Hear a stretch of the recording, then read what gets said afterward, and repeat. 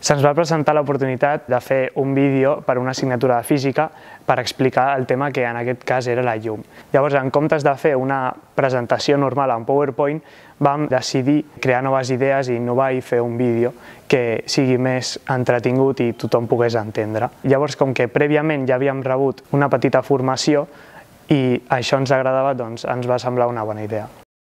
Com que inicialment no, no teníem pensat eh, presentar el vídeo a cap concurs i era només per classe, no vam seguir cap base o cap restricció a l'hora d'aplicar idees.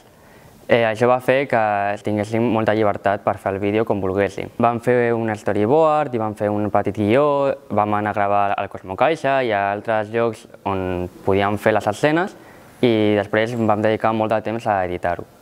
El vídeo bàsicament explica, de forma molt resumida, l'explicació sobre les, les diferents teories que hi ha hagut al llarg de tota la història sobre la llum, sobre si és una partícula o sobre si és una ona.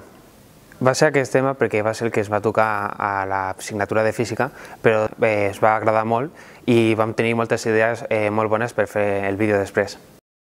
Principalment, els, els aprenentatges que hem tingut han sigut a l'hora de fer el, el curt en general, editar, fer un guió, fer un storyboard, tot això s'amplia i d'altra banda hem après que fent les coses com nosaltres volem a vegades surten resultats molt millors que amb massa restricció o moltes bases.